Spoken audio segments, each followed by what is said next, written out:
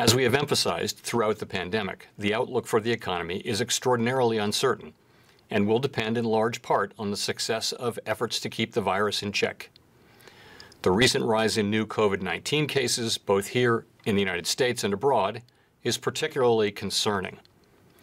All of us have a role to play in our nation's response to the pandemic. Following the advice of public health professionals to keep appropriate social distances and to wear masks in public will help get the economy back to full strength.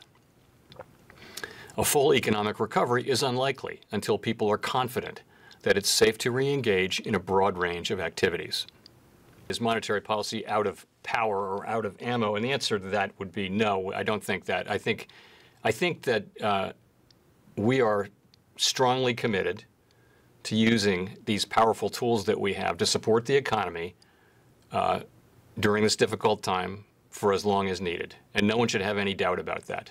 The economic downturn has not fallen equally on all Americans, and those least able to shoulder the burden have been hardest hit.